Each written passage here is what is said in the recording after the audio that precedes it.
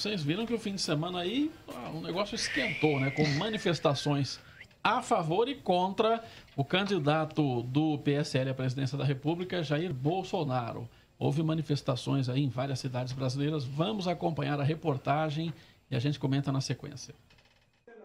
Em São Paulo, neste domingo, manifestantes favoráveis ao candidato Jair Bolsonaro se concentraram na Avenida Paulista. Vestidos de verde e amarelo, os manifestantes iniciaram o protesto com uma oração pedindo a recuperação do candidato Jair Bolsonaro.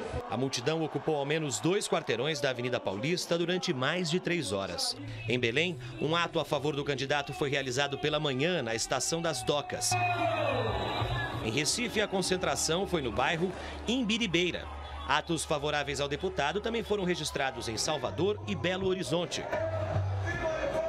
Durante o sábado, foram realizadas manifestações contra e a favor do candidato em várias cidades do país.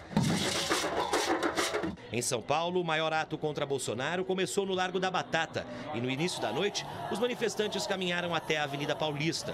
Também houve atos contrários ao candidato em Brasília, Goiânia, Salvador, Porto Alegre, Curitiba, Florianópolis e Belo Horizonte. No Rio, os manifestantes se reuniram na Cinelândia. Em Copacabana, um outro grupo protestou a favor de Bolsonaro. Ó, oh, meninas, o que, que a gente pode dizer? Eu acho que os dois grupos estão tentando, claro, os seguidores de Bolsonaro, os seguidores de Haddad, anti-Bolsonaro, anti-PT, estão tentando ali marcar território, mostrar que tem apoio e tal. Mas aparentemente, na minha interpretação, o... São pessoas já que já esses votos mais ou menos já estão direcionados. São pessoas que normalmente já votam nesse ou naquele candidato. Eu não sei se isso serve para modificar de alguma maneira a dinâmica eleitoral aí, onde os dois candidatos estão procurando votos fora da caixinha, fora da casinha que eles já estão acostumados a circular. Eu aparentemente, eu acho que aparentemente por enquanto esse, esse movimento não conseguiu ainda, para nenhum dos dois lados, mudar a dinâmica dos votos, Zezé. Eu concordo. Eu acho, eu acho que foi, na verdade, um, é, foram movimentos que indicam aí só o segundo turno. Como é que vai se dar. Né? E nós teremos agora no fim de semana mais um ato do ele não seguido. É, aliás, essa semana toda já estão sendo convocados atos aí do ele sim. E nós vamos estar tá vendo aí essas, essas duas massas, essas duas forças se colocando para. Mas para os seus. Porque, na verdade, para eles conseguirem é, alguma coisa dos outros que não estão com nem com o outro, esse meião que, que existe, eles vão ter que adequar o discurso, eles vão ter que é, é, começar de novo e se aproximar dessa, dessa, dessa massa. Tem 50% aí que não está com nenhum dos dois. Eles vão ter que se aproximar dessa massa e conseguir levar essa massa com eles, porque no momento nenhum dos dois lados tem voto suficiente para ganhar. Rose. Então, eu acho que eu concordo com vocês dois. Eu acho que os dois movimentos no sábado, né, contra o ele não, no domingo ele sim, né, é, apenas é, acabaram solidificando ou pelo menos fazendo campanha para os candidatos. São votos solidificados. Acho que são. É, é, o povo que vai votar nele é o povo que estava ali. Quem vai votar no Bolsonaro é o povo que estava no ele não. É, no Bolsonaro não, no, no Haddad. Quem estava ontem é, nas marchas aí em favor do Bolsonaro são os candidatos, são os eleitores do Bolsonaro. Eu estava lendo, o diretor do, do Datafolha disse que nas últimas eleições, pelo menos 34% dos eleitores decidiram voto na última semana. E na espontânea, esse número é de 25% de pessoas, ou seja, é isso que a Zezé falou, tem muita gente que ainda não decidiu em quem votar e aí pode mudar o voto agora nessa semana. Tem, temos 13 candidatos da presidência. Pode ser que tenhamos uma surpresa. Os institutos de pesquisas apontam que ah, o segundo turno pode se dar entre Bolsonaro e Haddad. Mas como a gente tem esses 34% de pessoas aí que não decidiram, pode ser que nós tenhamos uma surpresa.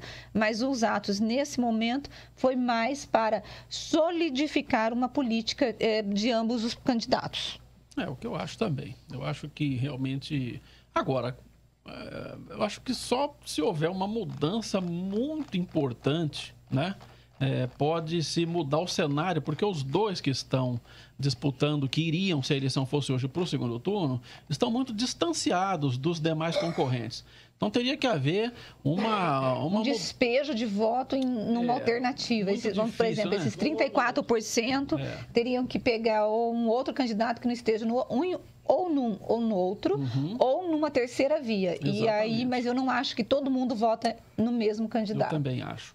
E tem outro detalhe, né? O, o existem os candidatos, alguns candidatos que pontuam de alguma maneira, como o Amoedo, como o Meirelles, como própria Marina, o Ciro e o, e o Alckmin, esses candidatos, até agora, pelo menos, com, com exceção da Marina, que vem caindo realmente bastante na pesquisa, esses, a, aparentemente os eleitores desses candidatos estão insistindo e tentando, insistindo não, estão fazendo a parte deles, imaginando que existe talvez uma chance mesmo que remota, deles subirem para ir e conseguir um lugar no segundo turno.